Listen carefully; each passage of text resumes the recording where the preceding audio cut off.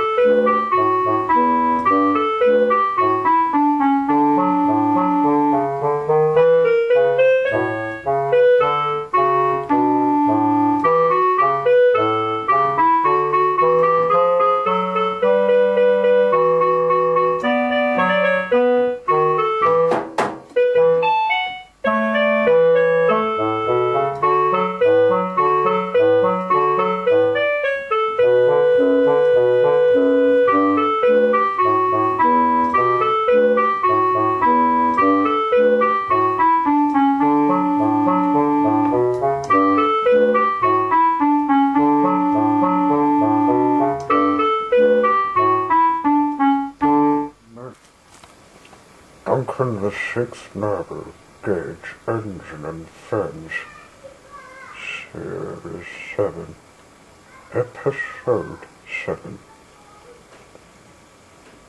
Farewell, old Neckbeard. Duncan's old friend, Neckbeard, old Neckbeard, was living in a hotel for the days he had travelled the seas and lands for years, but like the engines and what my friend said, age is never ageless. He was very old and sometimes would feel weak for walks. He felt sick when it was time for him to leave. One day, Duncan was doing his branch line when he saw Applebaum run out with shock. Your fence fallen off his fortin wooden one, Duncan. I'm just taking his body out. Let me take him, Lassie. Right, sweet, sweet about Scotland will give us a half quick. Right, Applebaum.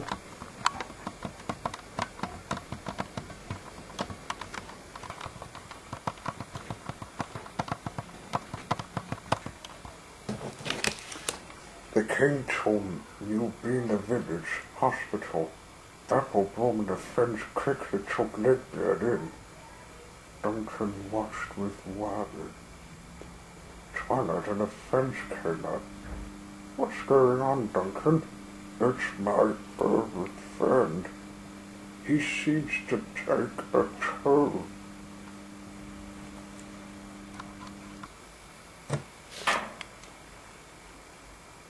After waiting, Applebaum and her friends came out.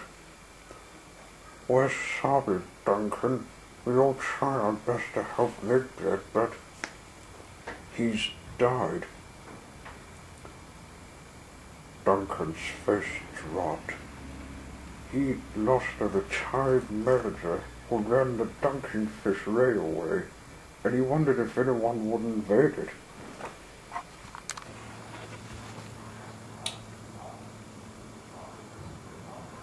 The artisans and partners gathered at the shed, and the natural ones.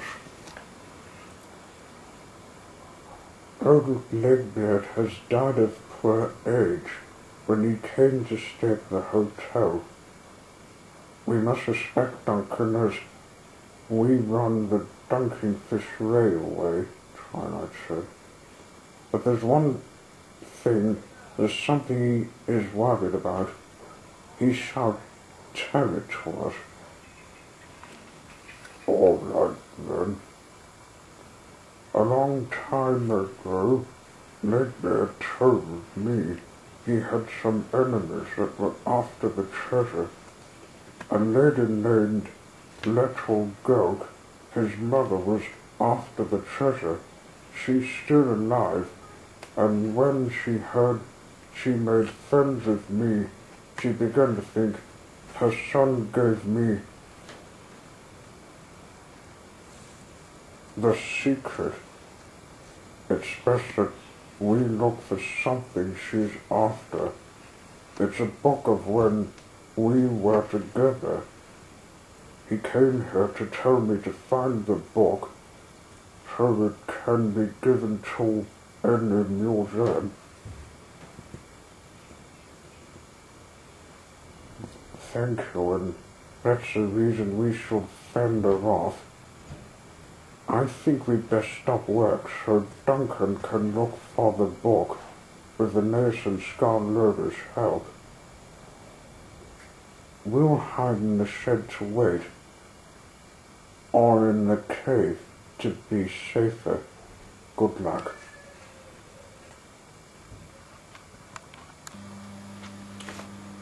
Twilight and the friends of the other engines went to the cave to hide, leaving Duncan and his friends talking the plan. Legbeard told me his mother hates engines and she wants us scrapped, which is a problem she always gets over herself and sometimes becomes stupid and she never gets a job because the public work makes her sick, which is her problem. Legbeard also told me when he went to school and was finished, he refused to come home. There's a reason why.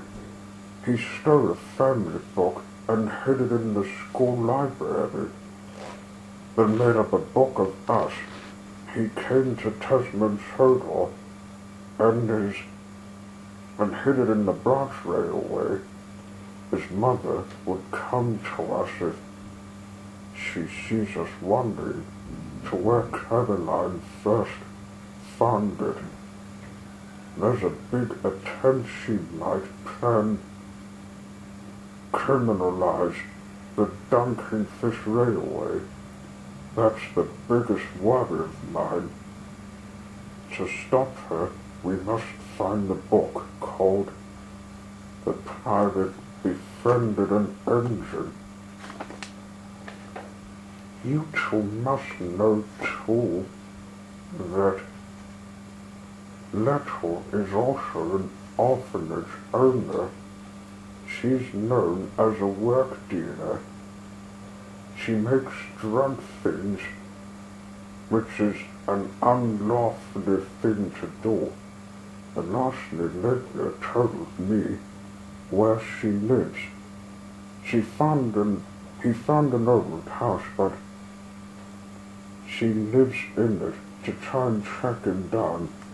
It's near the Donnelly Hotel, so we must move carefully to the branch Railway, with hope she may not know what we're looking for. My friends, look. Gosh, Duncan, this secret work is hard, but we can try. Yeah, we can't have Tasman Sodor being criminalized. The engine steamed off to find the branch Railway.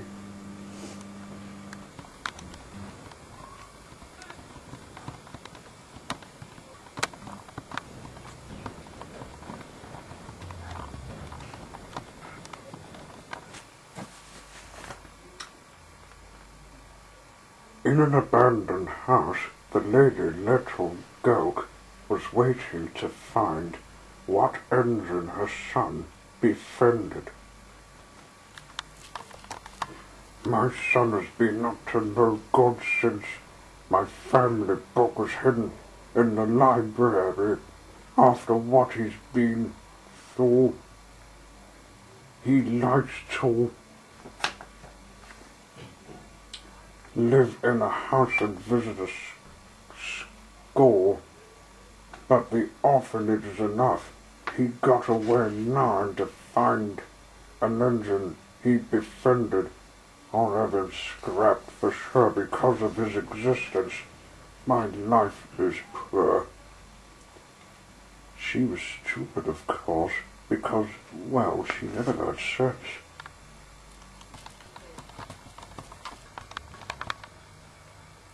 In the seaside spot, Duncan Scarnlurger and a nurse came to the mine, to the branch railway.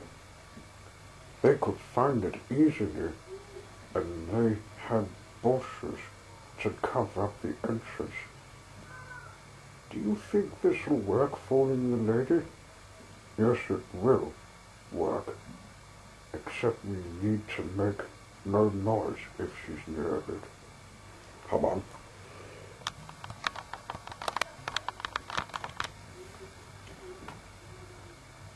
In they went, just in time to lose sight of Leto, who was looking for them.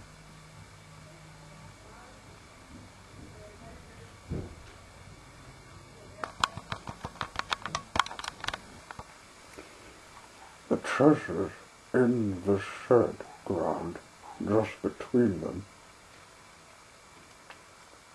The box a treasure? Oh, well, it's put in a box so its pages can't get ruined. There it is, on the X.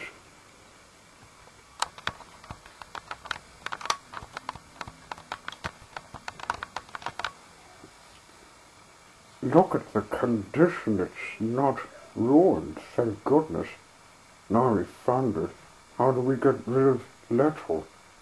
If she finds us, she'll criminalize Tasman Sodor after she scraps us. I think. Remember the tale Caroline told us? She was on the run and you threatened Pong. Let's see if you can do the same with her. We can help. Yeah, just need to, I just need to be careful with her. She's also a monster. That's tall. The engines carefully went out. Lettel was still looking for the engines. She didn't know her son had died. And as I said, she was stupid.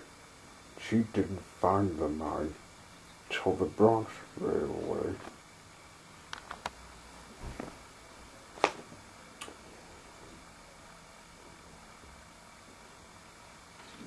Suddenly she saw something coming, something coming through the bushes. Duncan was standing in front of her. You're that engine that my son befriended. That's right, Leto. And you were wanting to get me strapped. It won't happen. Tasman Sodor can't have you criminalizing it. And the books have been found from the rush. And your son has died. You didn't know because of your stupidness of not knowing well. The orphanage was where you became a monster and not giving you the chance to get out. I don't think that story will be true. Give me your book and yourself. Duncan we see at the lady monster forming a hand. It grabbed her off the ground. The nurse and Scarnurger came up and so did the same. After giving her some damage, she lay limp on the ground. Well done, all of us. Now let's see what she has in the pockets.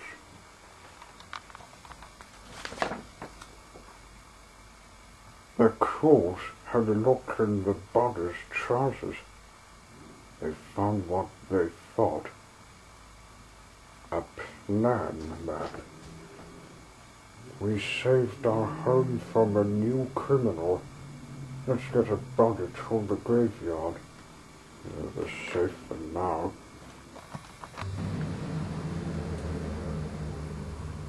They met the other engines in twilight with the other ponies back at the shed. We stopped his mother tonight. Do we do the funeral? We then, Duncan. I'm glad you have some ways of stopping a new criminal. Life now goes on. Now Nettle was dead. But he still remembered his old friend, old Lakebeard, and the times they had together before they were not together when hard times would come.